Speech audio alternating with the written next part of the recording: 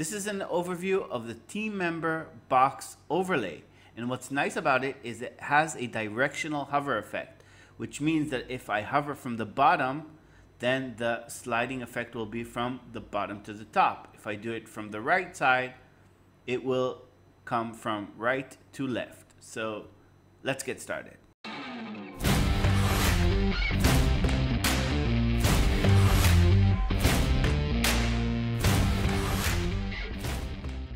To get started, drag the team member box overlay into your Elementor column.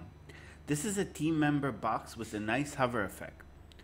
The team member box has an overlay that when you hover over the box, you can show social icons and also some text. It also has a title and a subtitle for your team member. I'm going to show you how to customize this and create this for your needs. The first setting is title and subtitle. So these are for changing the text over here. The next setting is for the image. You can add any image size that you want and then adapt it in style according to the height that you want or leave it to be the original image size. Over here in layout, you can turn on or off different parts of the team member box. For example, if I don't want to see this bottom content part, I can just turn that off and then I just have a nice hover box over here. Let's turn that back on. You can turn on or off every different part, the title, the subtitle, also the text overlay, for example, if you don't want that, you just turn that off and there you go. Social icons, maybe you just want the text and you don't want the social icons, so you can turn them off as well. The way you edit the social icons is over here. So you have an option for each one. So for example, I'm going to call this one Facebook. You can paste your Facebook link over here and choose any icon that you want. Let's switch this Facebook icon to this one, for example, and that's about it. You can add as many items as you want, delete items. For example, let's delete one of these. Let's rearrange the items. Let's give this one a title as well. Paste your Twitter link over here. And there you go, Twitter and Facebook rearranged. If you want to add a new item, you click add item. Let's jump into style and see how we can style everything. So as I said before, right now the image, the height of the image is auto. It's showing the full image. If you want to crop the image and show just a different height in pixels, this field is responsive. So for example, I'll set it to 211 over here. And right now this field is responsive. I can go between different screen resolutions and determine the height. Or you can just take that field off and now it's showing the full image.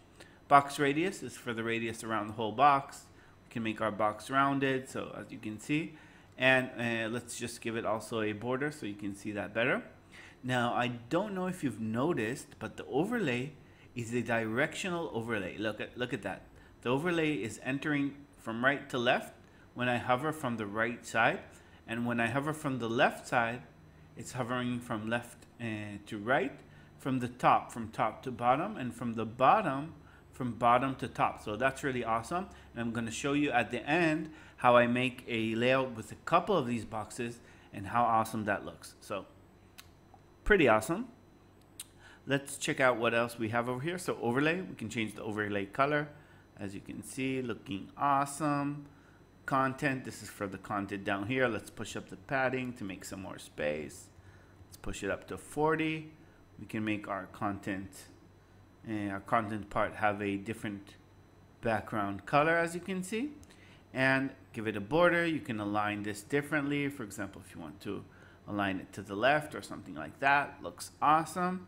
Overlay text. So over here this is the text that's showing right now it's showing a phone number but you can change it to whatever you want in the content and, and as you can see we can snap that to the top for example instead of snapping it to the bottom, which also looks awesome. And change its background. Let's change it to like a bluish color just so you can see that. And typography, padding, whatever you want. Let's push up the padding. That will make it a little bit bigger. Let's push it back to the bottom. Looking awesome. So title and subtitle, typography and colors and spacing between those. You can go over here, change the spacing between those change the colors of each one of these and you're set to go Inside of social icons, we can determine the social icon size. So because I just left only two, now I can make these bigger and change the border. Let's change the border, for example, to a dotted border, for example, looking so awesome. And you can change all the hover colors and colors of these two icons and do whatever you want actually. So I want to thank you guys for joining and I'll see you in the next video.